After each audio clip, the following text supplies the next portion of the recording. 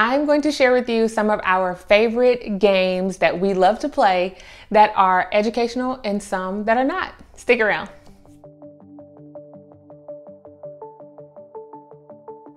Welcome to the channel. My name is Morgan here at The Life of Tillmans. If this is your first time, I am so happy to have you here in this space, guys. I hope that while you're here, you find everything that you need, love, and enjoy right here on the channel. If you haven't done so already, go ahead and click that subscribe button and the notification bell so that you do not miss any of the videos uploaded on the channel. If you've been with me before, welcome back. I first want to start out by saying thank you to Abby over at Rooted in Rest and Jessica at the Waldock Way for doing these monthly show and tell series. These are open collaborations. Anyone can join in on these collabs. They have amazing topics throughout the homeschool year for you to gather more information. Well, today's topic is all about games that we love in our home. So when you're done watching this video, make sure that you go down to the description and click on the playlist and check out all of the other amazing mamas participating in this collaboration and games that they love to use in their home. I'm excited about this because we do love games and we have some new ones that the girls got over Christmas that have quickly turned into fan favorites. we do play games at least a couple of times a week. Um, we try to make game night Friday nights, all of the things, but I allowed my girls to just tell me what games they love. With my four year old, I just simply watch her and I know the games that she is all about. I'm gonna start with card games. The first card game that we love is this Harry Potter Uno. And you're probably thinking Uno is Uno is Uno. If you are a Harry Potter fan, I'm not. my daughter, my oldest daughter is. I don't dislike Harry Potter. I just don't know that much about it other than what she's told me. But she received this card game for Christmas uh, last year. And it is pretty awesome. Yes, it is typically like an Uno game, like your typical Uno game. There is one little twist that is added into it and that is this hat. What is the name of this hat again? Sorting hat. A sorting hat. she loves this. Well, this card is like a wild card. You can change the colors with the card, but also when you get this card, you get to pick a person who's playing the game with you and they have to pull a card until they get the is it Gryffindor? Yeah, the Gryffindor. One of the Gryffindor um characters? People, people yes. Characters. So they have to pull until they get one of the Gryffindor people. I'm going to show you what that is. And is I have not played. Oh, the cards are numbered. Any color, one through four. She's helping me out with this. But we're getting there. So let's see if I could find one, which I'm not able to. Oh, here we go. Number two. So they would have to pull until they got a card, either one through four, and here's number two. A nice little twist to the Uno game. Super colorful with all of what I say colorful. Lots of different colors. They're a little bit darker than regular uh, Uno, but a really cool game. And we just love Uno. We are an Uno crazy family. So to find a different twist put on Uno was right up our alley. The, let me put this one up. Second card game that the girls got for Christmas, and we started my middle daughter started playing this game when my oldest daughter was at volleyball practice and games with some friends of hers that would be around. And I just dropped everything everywhere. but she started playing this game and they absolutely love it. The game is Sleeping Queens.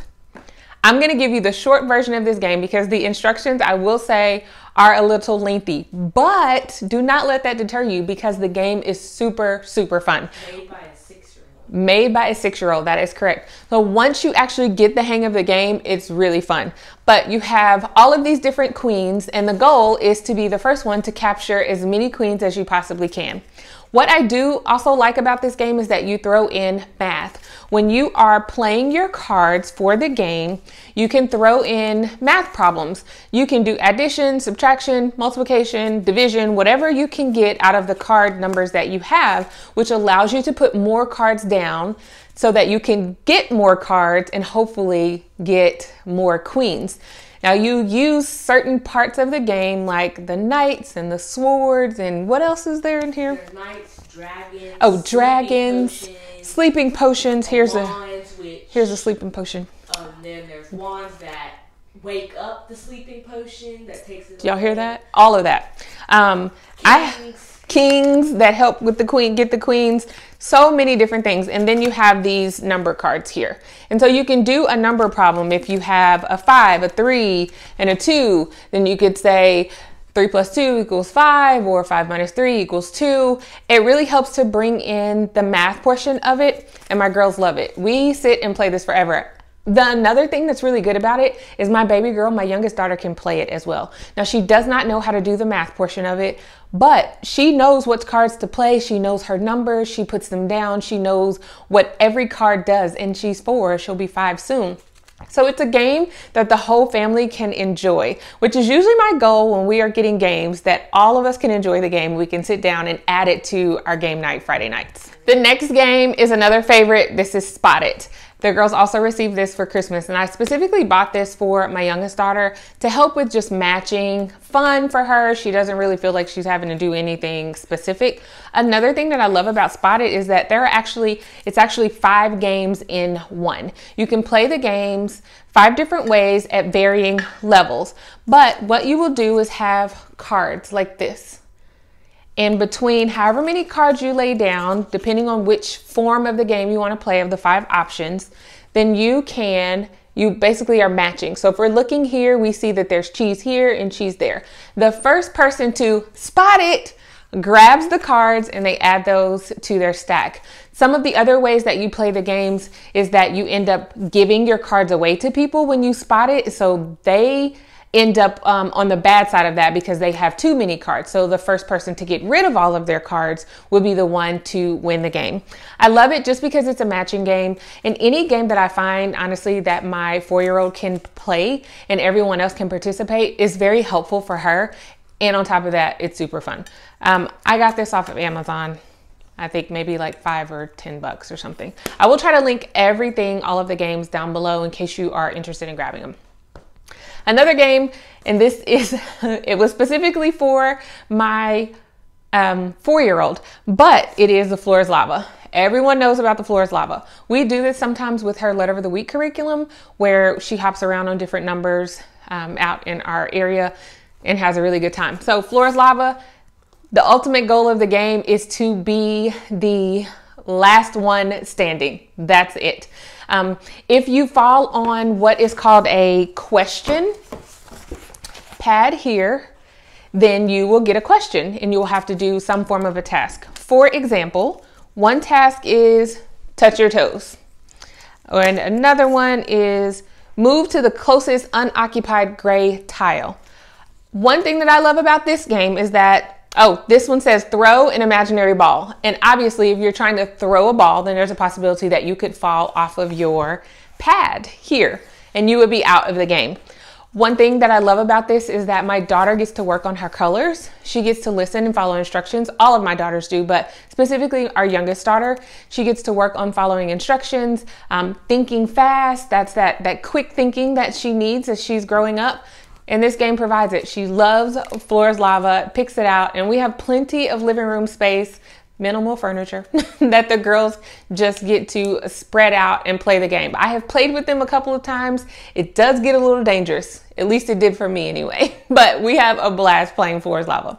We do it with pillows all the time. Yes, they have pillows around the floor sometimes to play the Floors Lava. But another game geared towards my four-year-old that we all play though just to to have fun with her is zingo bingo.